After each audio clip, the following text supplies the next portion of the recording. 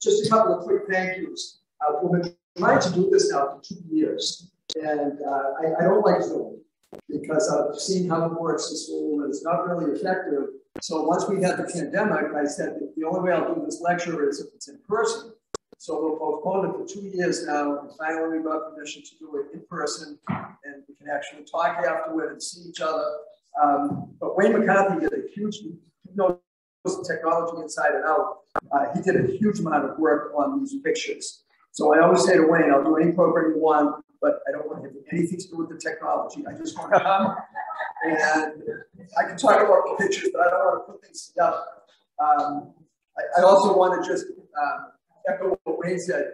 Uh, Lyman Estate is really good to the uh, people of Waltham. We come down here, my history of Waltham class, we come down here every year.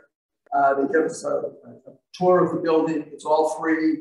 Uh, they've taken us into parts of the house that are close to the public.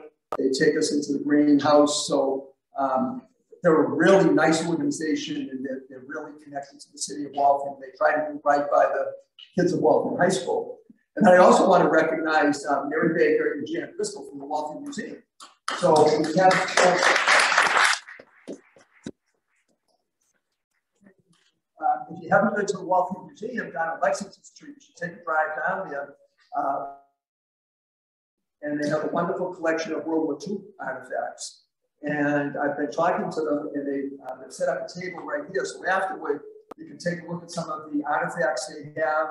Uh, some things over here also that are really nice, but they have a lot more things down at the museum you can take a look at too. Okay, so let's get going with the program. Um, the, the, image that most Americans have of World War II is national. And I, I, was like that for most of my life. You know, when you think of World War II, you think of uh, President Roosevelt, you think of President Truman, you think of General MacArthur, you think of General Eisenhower, you think of battles in the Pacific, you think of the Battle of the Bulge. But, but you don't realize, uh, you know, even today, politically, we're fixated on national solutions and federal solutions, but we don't look at the communities, the huge role that the cities and towns and communities play in making the whole country work. Um, so tonight, the, uh, the story that I want to get across is a story not of what was happening in Asia or Europe or any place like that, but what was happening uh, right here in our community. And they call this generation generation. And as I, you know, then uh, to really understand what it's so much wide way. I'm sure all of you have members of your family that were in World War II. And uh, kind of the, um, if it was a sports bag, they would be the unsung heroes of the war. They uh, they sacrificed and they did a lot of good things for the community, and they didn't get a lot of recognition, uh, but but they quietly helped win the war. Okay. Oh, I'm sorry. I didn't know that one was up. I didn't that. Uh, this is a new script going on December 8th. And uh, U.S. affairs war in Japan. President says Hawaii attacked dastardly. And that's his famous speech, uh, the Day of Infamy speech. Uh, what a lot of people don't realize, uh, the original, his advisors wanted FDR to give this long speech. And FDR went with his gut. And he said, no, a long speech won't work. I want to give a brief speech uh, asking for a declaration of war. And the original line uh, that his advisors penned for him, a date which will live in history. And FDR took it. If you go to Hyde Park, if you go to his house, you'll see that he corrected it and he put in Day of Infamy. And just you know, the power of words, just changing the word and how much nicer it sounds, the Day of Infamy instead of you know a day which will live in history. Um, but the interesting thing here, if you look at the far left, placed Waltham and Newton on war footing. So there was this real fear that we could get attacked. And uh, a committee was formed, the Committee of Public Safety, and their job was to coordinate civil defense. And you know, we knew we weren't going to be attacked by Japan, but there were German submarines and German ships all over the Atlantic Ocean, and there's real fear that Waltham would get attacked with our, with our industry. Okay.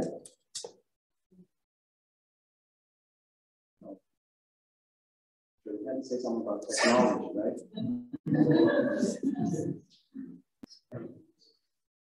There we go. Okay, uh, Waltham Federal Bank, I don't know if you remember that, but, um, on Main Street, a little past where the Merc is today. And, uh, they had a great quote in the paper, it was an advertisement. We are all civilian soldiers. In other words, they're saying that everyone in Waltham now, you might not be in the army, but we're all part of the war effort. Okay? Okay, the way I divided this, um, I, I, I put down Waltham balanced axis, I think, but that's not any kind of. But I want to break it down into uh, chunks, and I want to start with industrial contributions. Okay, there's the Waltham Federal Bank in the upper left, and that was torn down several years ago. And they had a window, you can see the window if you look at it. And that was open to the public, and they do exhibitions there that exhibit, you know, something maybe for Girl Scouts or for church. And this, during World War II, they had all kinds of exhibits uh, encouraging people to help in the war. And the, the slogan is that Waltham industries are doing their part to help the national defense program. And this is J.L. Thompson, the, the buckle factory that was down on South Street. And I was looking at this, the, the original picture with a magnifying glass over the weekend. And every exhibit there is about rivets, the importance of rivets in fighting World War II. And all I could think of, because I play this song for my juniors, is Rosie the River. So, you know, you don't think of rivets playing a major role in the war, but that's what J.L. Thompson's whole exhibit is on. They've got the largest rivet in the world, the smallest rivet in the world, but they're exhibiting their contribution to the war effort.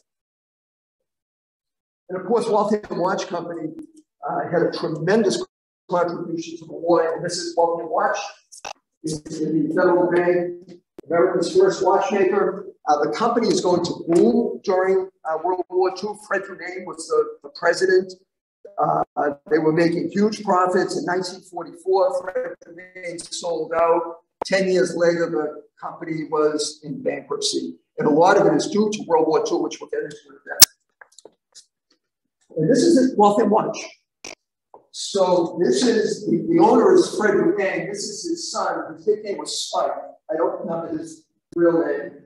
That's that's A. Hansen right there, Arthur Hansen. A. Hansen will be the mayor at the beginning of World War II. He'll die of a stroke selling war bonds on the common in 1942.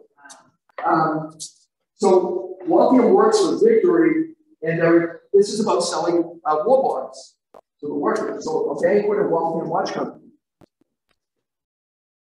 Look at the watch company inside of it. Rows uh, during World War II, they had just about 3,000 people working there at Waltham Watch. The whole factory was devoted to, um, to the war effort. They were not making civilian watches during the, during the war. And this is an interesting picture here. Waltham Watch again, but this is blue stars. And the Waltham Museum has right here, when you come up the avenue, you can see the, the blue stars. So uh, as, as, you all know, that you exhibit in a window, if you had someone, if you had two people in your family fighting the war, you'd have two blue stars. If you had someone who died in the war, you'd change the blue to a gold star. So you look at pictures at the time, if you look at some of the, um, the, the businesses and factories, you'll see banners with stars, and it's the number of workers from this little division um, who were fighting in World War II. Products of Waltham Watch Company during the war. So these are military watches. This is my dad's watch that I, I, I always wear. Um, and it's, a, it's called a Waltham Pack watch. These were accurate to within three seconds a day, which was considered incredible. Um, Waltham stopwatches. We've got king clocks, an air, aircraft clock. I think we've got one right over here you can take a look at it. These are ship chronometers right over here walking compasses. Whenever I uh, hike, I always take my Waltham compass with me, and I'm hoping someone will ask me a direction so I can pull it out and show it. But if I start telling them about the Waltham Watch Company, then they just walk away. Okay, Waltham News Tribune. And just, just kind of scan the paper and look at how much it deals with World War II. And this is nineteen forty-three, I believe. General Eisenhower sent a telegram praising the Waltham Watch plant. Um, he had a great line, if I can, let me see if I can find it. Well, he credited the Waltham Watch Company uh, with bringing the mighty North Africa Corps to its knees. So this was um, the battle for North Africa, the German General Rommel, the Desert Fox, and he was driven out and into Sicily. And Eisenhower credited a lot, of the Waltham timing devices with helping win the battle in North Africa. So for all of their work, Waltham got an E award, and an E award is E for excellence. So the Army and Navy were given E award, you had to meet different criteria. And the picture right over here from the distributor. This man here had worked at Waltham Watch for 68 years. And I figured it out. He would have been there in the 1870s. The company opened in 1854 well, with a guy named Dennison, and then uh, Royal Robbins took over. So he would have been there right from the very start of the company. But between them, they've got people 62 years, 68 years, 55 years, 64 years. Long time to work building watches. Okay? Okay, so they're going to get a new one. So on January 31st, it was 1945, 2,500 workers gathered. That's Crescent Street. And you can see the company is decked out with American flags. And the workers all lined up and they march down Crescent Street. So if you picture this, they go down Crescent, they come down to Moody Street, they take a left, and where do you think they're going? No? Embassy. So here's another, look at the, look at the line here. And if you look at the, okay, look at this one, look at the cards. You can see the cards are just so. So they're marching down. Go ahead. And this is the embassy theater. I don't know whatever happened to this. You don't have this man, do you? I would love to know what this is. That would be a great thing to have hanging in Waltham High School right now. Waltham times the attack. But look at this production for victory only. The problem with that is people still wanted to buy watches. So if, if Elgin is making everything for the war in Hamilton, they're both American companies, and Waltham, where are you going to get a watch? Well, the answer is Switzerland. Switzerland was neutral. So Waltham is making huge profits during the war, but the problem is that the Swiss took over the American market. The war came to an end. Waltham tried to retool for the watch, for civilian watches, and it, it um, they, they never got back on track. And in 1954, they, they closed down. And that's a great view of the embassy. Okay, well, that's it. So um, you can see the Army E award there. They got the big flag. And every one of the every one of the 2,500 people got a pin to wear that had an E on it, E for excellence. Okay, other companies that got the E award, this is Raytheon. And Raytheon got an E award, um, and they accepted it at four place. You can see they don't have a giant, you know, thousands of people lined up, but they've got a handful of people at four places. Okay. This is a company you don't usually think of, uh, W.H. Nichols. And W.H. Nichols got five E awards during World War II. They made pumps, different types of heat pumps. Um, 1944, they had 834 employees. Now, W.H. Nichols, was down in the island section of Waltham. If you go down Ward Avenue, it's on the left. But you don't usually think of that as having that number of employees. W.H. Nichols. Companies in there, I, I don't know what they're called now, but that was a local company. Go ahead. And one last picture of business. This is the Waltham Chamber of Commerce, and it's 1944, I believe. And they're having a neat conference of the Waltham Chamber of Commerce about the war. And if you look over here, they've got different posters up. And I found the posters interesting. Once again, I used a magnifying glass. So these are the people who own businesses. Okay, one of the posters, Victory waits when we are late. In other words, get to work on time. And another poster, um, speed up production. So these are the business people who own the businesses, and naturally they want to stay on schedule, but they're all about making the workers work more diligently to, to meet what they what they have to do. And that's at the Hovey Institute.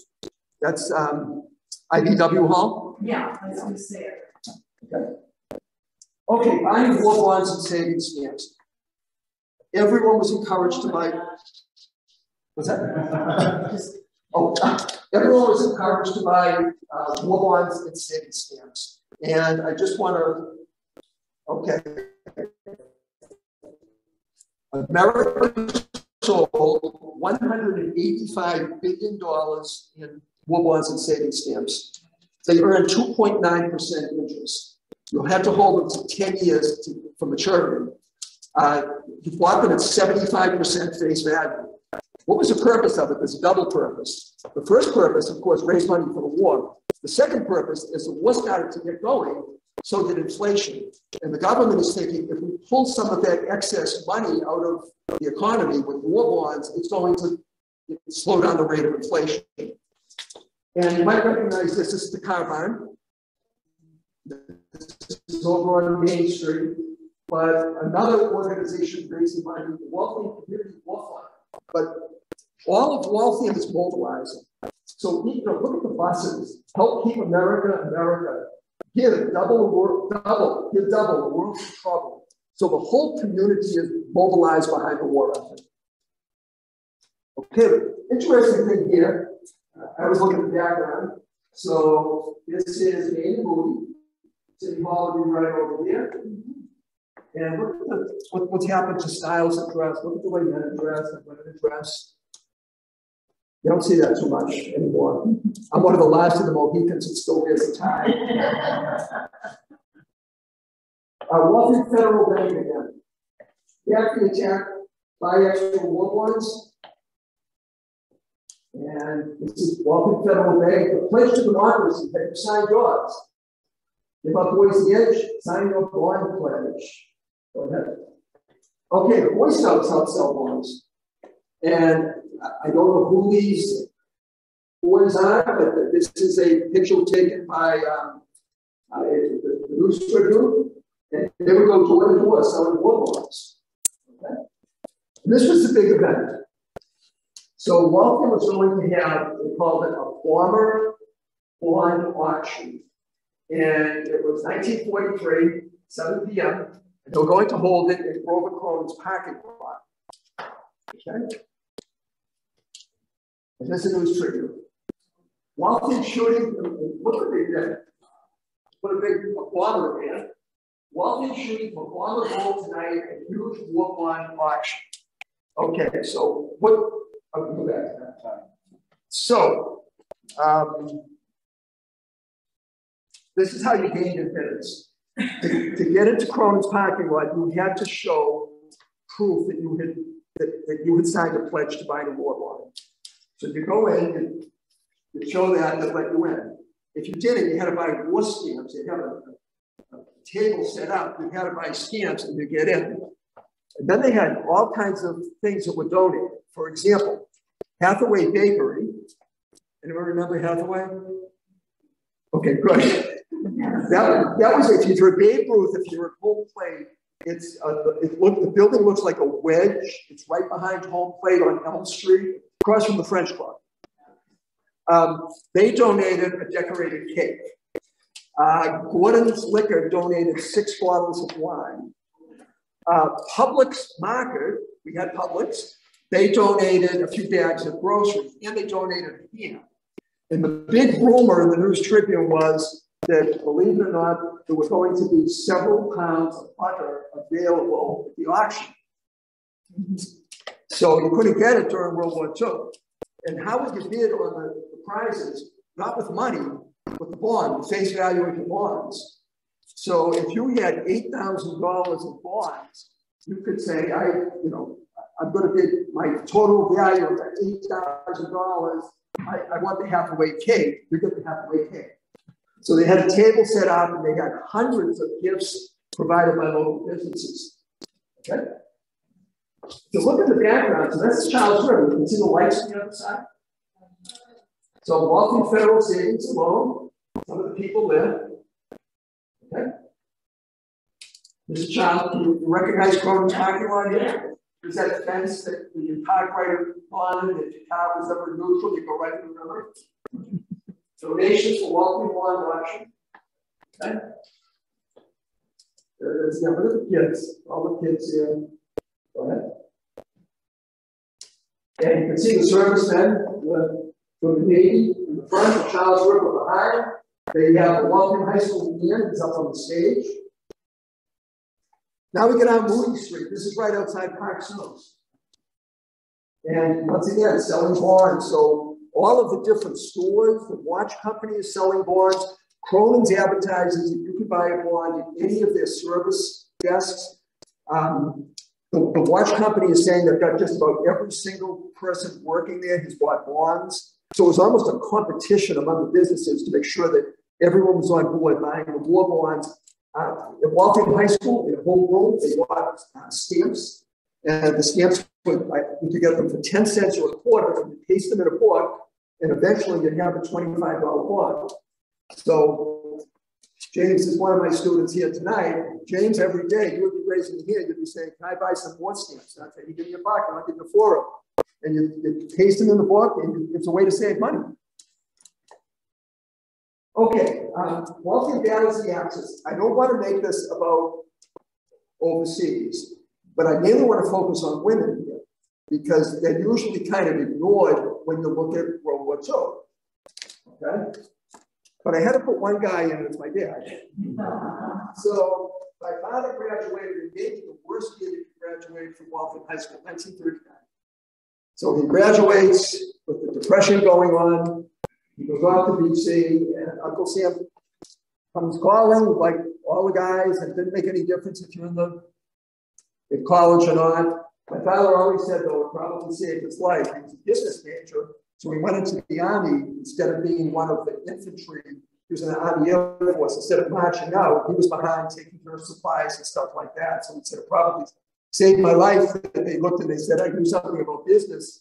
And I, he said, I used to feel so bad for the infantry soldiers marching out into the jungles look, looking for the Japanese. Next. Okay, take a look here. Way in the background, the building over there, uh, that would be the music hall. That's formal wear. You're on the common, and a parade is going to take place here. Uh, B.C. Ames, they're gone now. They were on Lexington Street, and their slogan was "Masters of Measurement." I always love that slogan. And look at sign here, Zonta International. I had never heard of it. And one thing technology is good for is you can Google something. Anyone know what Zonta is? It, it's an organization for women's rights. And people in this, women in this, it's, an, executive women with big positions in companies. It's worldwide. The word Zonta is a Native American name, a Sioux name meaning honesty, honesty and loyalty. So this is BCA's truck going into the parade. The two women right over here, you can defend America. So they're creating women, they're, they're encouraging women to get involved in the war. Okay, News Tribune. Okay, Look at this, new building, building virtually came to a stop in Waltham during the war. Um, you, couldn't get supplies, you could not get lumber, you could, the, the, War Production Board, the Federal War Production Board was controlling the economy. The, virtually no building takes place in Waltham during World War II, with one exception, which I'll show you in a minute. But this is the headline I wanted you to look at. The waves are coming to Waltham. And the waves were women uh, in the Navy. Uh, you had to be between the ages of 20 to 36. You got paid the same as a man. You're not going to be in combat, you'll be in support roles. And this is the waves. I think that's the um, Wires building, but I'm not 100% sure. But there's a group of waves coming to Waltham to recruit. And then the other group, the WACs. And the WACs, it starts out with Women's Auxiliary Army Corps, WAAC. Eventually, they shortened that to WAC, the Women's Army Corps. And so they're, they're in it. Signing up a woman right here. Okay. Now look at this. This is WACs. This is at the embassy here. They've got their booth set up. Go ahead. And that's the embassy. And they have a, they have a ceremony uh, recognizing the women who have signed up for the Women's Army Corps. They're there. Okay, people who fought in the war. Um, one of the big casualties of the war is Arthur Hanson, May Hanson. And as I said, he was selling war bonds and he suffered a massive stroke and he died on the common. Uh, he was a hero in World War One. His sons fought in World War Two, and they had the funeral, as you can see, at the Hovey Institute. And here goes Arthur Hanson funeral. This is a great picture. Uh, the RTN building, that was Clarkson Furniture. And look at City Hall, right in, in black. And you can see some of the City Hall workers on the stands here. There's a, let me see if I can. This is interesting. I don't make out. There's a boy down there. You, never see this anymore, but he's riding a bike filled with newspapers in the basket. And that was an image when we were kids that see, you know, kids would deliver newspapers like that. And there's also, you can't see well, maybe right there it says Route 128. So Route 128 in Waltham was Lexington Street. So before, before 128 was built, 128 was Lexington Street. You come down 128. You come to the intersection of Lexington and Main, you take the left. You're now going on Newton Street. That was 128. That was called Route 128. That's how you get down the Cape, going through all the different towns. Okay, um, look at the Red Cross and Civil Defense Volunteers. And this is interesting. I, I, I know you can't see it. If you have a been asked for a donation to the Red Cross, we are respectfully asking you to send your contributions by your child to his teacher who will give them a receipt for the. We have had 3,000 boys leave the city to fight for us. Surely they should receive our support. Remember, the Red Cross is the only organization overseas which has access to prison camps.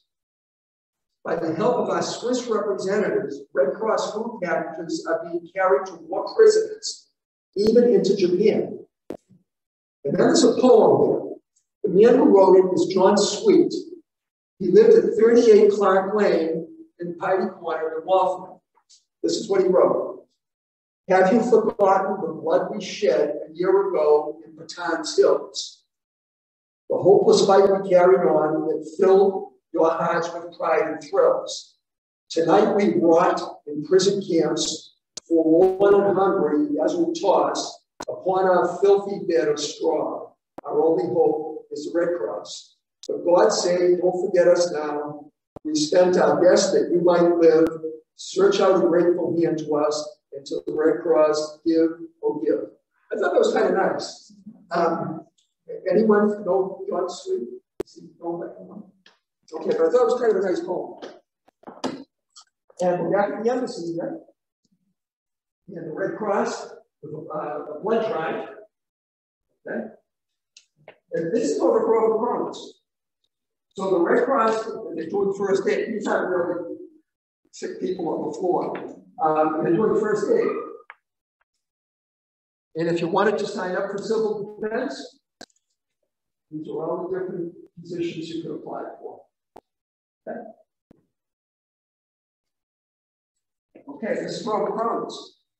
And you might remember, remember the staircase? The one that had been, that's Robert Collins. And the civil defense was in charge of air raid precautions here.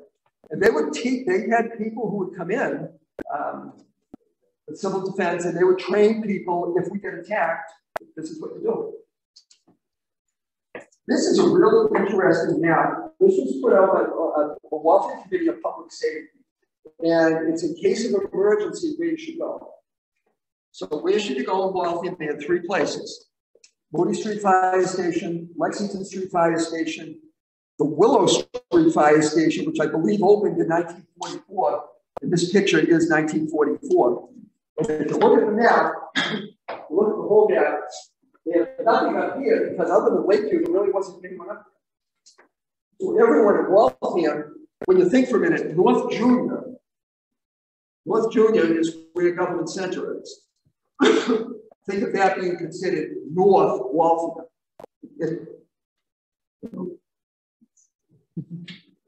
It's not North Waltham, it's South Waltham. If anything, that was considered North Waltham because there's nothing above that. And here's the uh, civil defense. This is the auxiliary police. And you can see the civil defense. In fact, I see the civil defense helmet right over here. Welcome City Hall. This is really nice because look at the name. Uh, how many of you know Miss Hannah? You know Miss Hannah? Okay, Miss Hannah was a wonderful, wonderful woman. Um, when I was a student at BC, I volunteered over at the uh, Central Union High School. She was a history teacher. She knew everything about ancient history, every single wonderful teacher.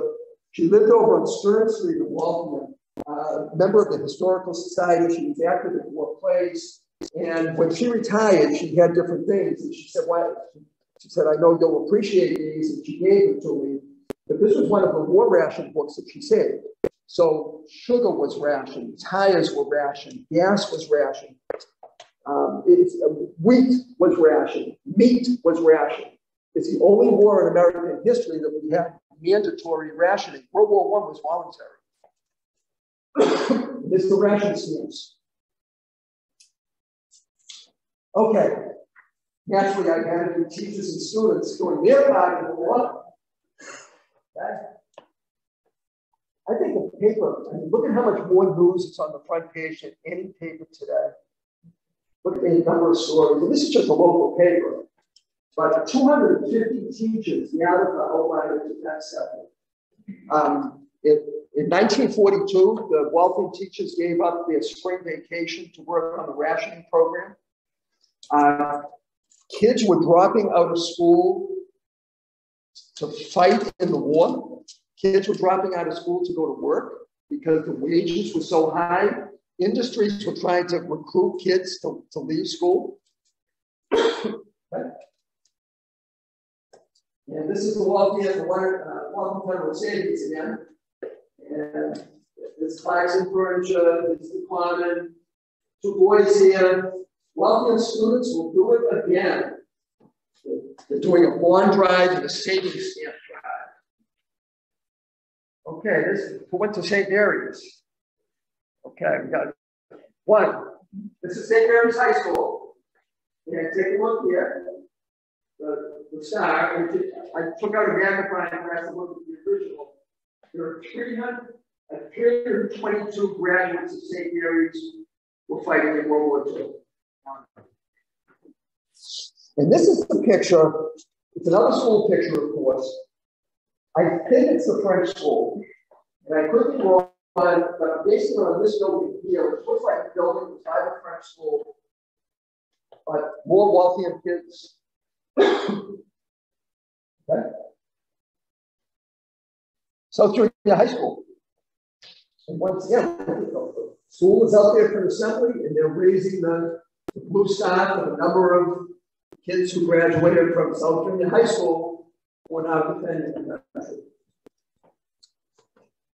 The Boy Scouts, um, the, all kinds of different groups took part in the Waltham Salvage Drive. And they were collecting, they collected newspapers, they collected steel, uh, they collected tin cans. They had directions of what you had to do with the tin can. You had to wash it, you had to take the label off, you had to flatten it out. Uh, trucks would come by collecting all these things. But his Boy Scouts, beat the Jets, get in the scrap. Troop 47. And here's a Waltham Salvage Committee asking for help. Okay, this is what the federal government said to us. We had to collect 90 tons of paper. Someone did the math, that was 10 pounds a person. Um, had to donate newspaper or books or scrap paper. And they had kids going around picking up cartons. And then this was, I believe, 1943, on November 7th. They were going to have a big collection day. So his kids getting into the salvage drive. Once again, the whole city is mobilized behind the war. Wayne and I were working with this, and you know, I think it's a pretty picture. Look at it. You have newspapers and stuff there. It looks like Crescent Street. Anyone recognize the building there? It looks like Marie. Does that look like? Yeah, I'm just basing it. It looks like it's. What she just looks like Crescent Street, but I could be wrong. This is a nice picture. This is Con. Over here. This boy has quite a ball. Okay, then Moody Street. So Moody Street has always been heart of Waltham.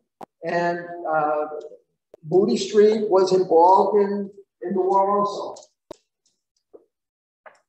And if I believe this is today, the old Grover Cronin's, look at the sign over there. 51 members of Grover Cronin's were in service to their country.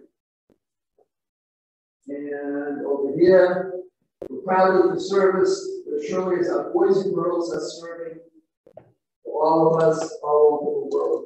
By the way, there were 31 Waltham teachers that fought in World War II. Out of the 31, 15 of them were women. That's not, isn't that unusual? So 50, 31 teachers left, 15 were women who were the WACs or the waves, and, and then there were guys fighting. This is a great picture. And this is 1943, selling war bonds. I remember Park Snow, and that was another department store. My mother worked there when I was in high school. She got that job. She was in the men's department. And she worked there, I think it was Wednesday and Friday nights. They were open until 9.30, I think, on those two nights. And uh, but Park Snows was very involved in the war effort too. You can see the American flag being displayed down here. McNeil was a shoe school. And this is a parade. This is 1942. It's Flag Day. They had 20,000 people on Moody and Main Street to watch the parade. His Park Snows float. And the Park Snows department store is behind here. But a great flow. And if you look carefully, it's the United States. And there's a spider with a swastika on coming out of America. And over here is a Japanese spider coming from this direction, encouraging everyone 10% of your money for war bonds. Is our front of Park Snows, selling war bonds. Ricebergs. Ricebergs. And if float, Uncle Sam riding to victory, that says Ricebergs underneath it. Oh, demographic. Picture, not really. Okay, in front of the embassy, this is the same parade. And if you look carefully here, there's a coffin that's Hitler. With a swastika right there. That's 1942.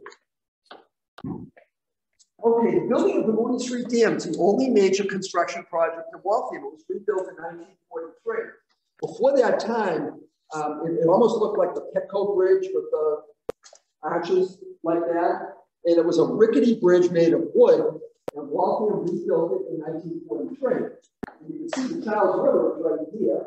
and it's going to river dam like that. The bridge is going to go like this. The Steel Middlesex Hotel, the 105 Club. And there's the Boston Manufacturing Company. Uh, Atlantic Register, they sold um, registers payroll reps and stuff like that.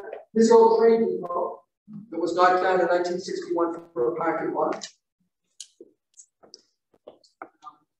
There it is, Moody Street Bridge. Same bridge you see today, except the railings have been changed. Okay. Okay, one of the mistakes I think we made, um, you know, you look at World War II and you just think, okay, everyone, that's all people are thinking of, but life goes on. So right now, you know, you read the newspaper and you read, you know, all the political battles in Ukraine, but you know, the Red Sox are playing tomorrow. Life, life goes on. So here in Waltham, Forest Road. So this is down in the Charles River. And my father used to swim there. My father grew up at 111 boy out there. We always thought was swimming down the Charles. And he took me down there one time and I, I said, Yeah, show me exactly where the beach was. And you know, said, there's a beach, the float was there, you know, was pointing out everything. But look at this kid.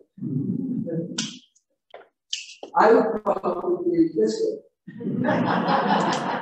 Putting my toe in, seeing if it was too cold. Look at this thing. Wouldn't it be great if we had a beach like this in the Charles now? Okay, I showed this to some of the kids in school who were on the hockey team. I said, I want to show you the Waltham High School hockey team in 1943. I said, you have any comments?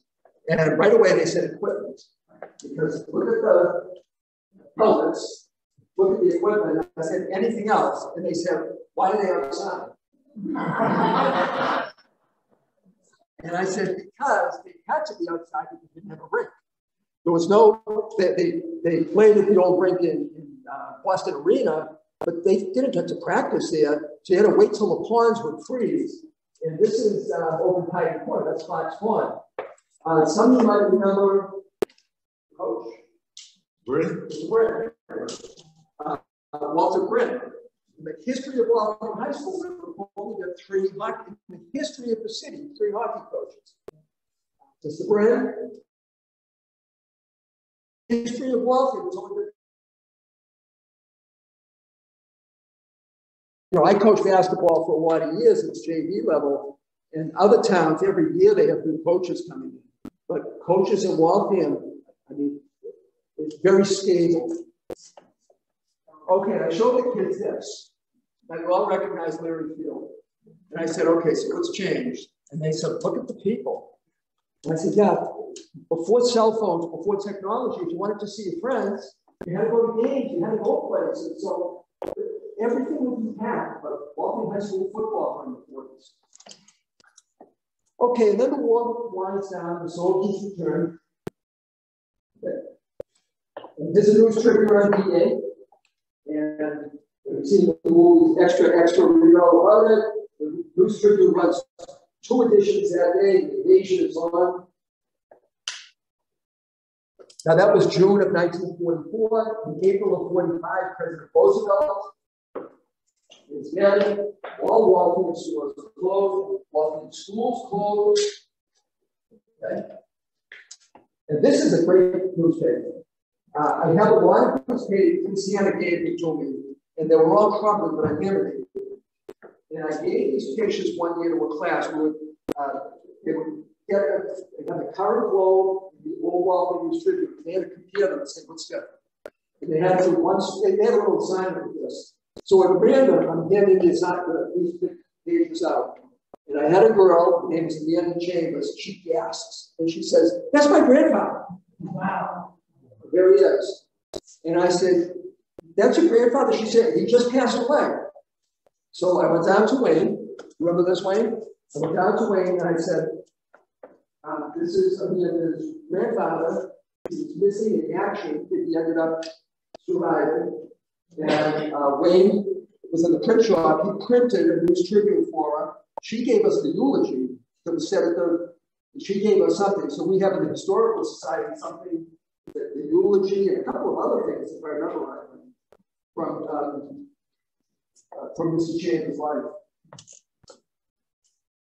Okay, and Germany surrenders. Okay, Germany had no less at this subdued and silent Waltham March Germany surrender. And you'd think it would be jubilant Waltham, but it's, the war's still on. There's no word from Japan, and Japan is going to fight on. Isn't this neat? Well, the Romans took out a full page ad, and uh, in the government of the people, by the people, for the people, shall not perish from the earth. Road Roman, it's Mein Kampf in flames crashing to the earth. I just thought that was very creative. Okay, that little war ends. But guys, when, um, it was incredibly expensive to print in color. And the News Tribune, up to 1944, 1945, only had two times when they printed in color. And it- no text at all, Victory on Japan, Victory edition. Here's another one. So here's the News Tribune, this is December seventh, nineteen forty-five. One hundred and thirty-eight Waltham soldiers were killed. Five thousand four hundred and fifteen Waltham soldiers served. And the News Tribune published all the pictures of the men died. And I just want to point out one particular man. This man's name is uh, Charlie McCullough. Anyone know him? Okay, so he's up, he's up in, um, he lived in the West End. But I, I just got something very unusual the other day. Uh, actually, a couple of years ago. His, um, if you know the Lobos up in Cedarwood, so Peter and Sally Lobo, I, I taught their kids, and that was scary. I taught their grandkids. And then, you know, I've known them for a lot of years. They're really good people. And I get something from Sally Lobo, and she said she got a letter, and it's from the Netherlands. And he died in a place called Margraten, Netherlands. Um, he is buried there along with 10,023 American soldiers. And they were trying, they somehow they got Sally Lobo's name. They sent a, a note to her and they said, We're trying to get a picture of every one of the 10,000 because every two years they, they do a ceremony in the Netherlands and they, they want to recognize the people. So they have a picture next to the gravestone uh, of, the, of the person. So she gave a Lobo family sent some pictures and information of, uh, of it, it would have been Sally Lobo's um, uncle, her uncle. And the, the ambassador to the Netherlands is called Faces of Margraten. And he said this. He said, we can look into their faces, and we will all read something different into each face. We know that when we look into a face, we see a unique and special individual, someone with aspirations, someone with dreams, someone with hope. So it's a way that they will remember. General MacArthur visits Waltham. So the war comes to an end. You look at Waltham City Hall. Welcome, General MacArthur. The Northwest School is renamed the MacArthur School. And the general was right here. Big crowd here, bring him after the war. And the nice thing when we get visitors, we can give them a welcome watch. I don't know what we give them today. This general MacArthur. This man's name is Rocco Kalora. Uh, that's Sally Kalora's father. And he was in charge of uh, the Veterans Bureau. And his General MacArthur, the, the Murphy Hospital on uh, Forest Street, where a lot of the veterans were sent, were, were recuperating. General MacArthur and Mr. Kalora over there. And this to me is just a, such a powerful picture, a very haunting picture. And these were put up after the war, and it's all of the Waltham men and women who were involved in the war. It says uh, Waltham Honor Roll for Water Country, that's Moody Street in the background. I think that would be so nice to have that today. We, we have a small memorial to, to recognize the names and to be go up and be able to point to people and say, that's my uncle, that's my great grandfather. Look for your name and just say, I wonder if this person's related to you. But I just find that an incredibly moving picture. Okay, now we're leaving Waltham, so that's the end of the presentation.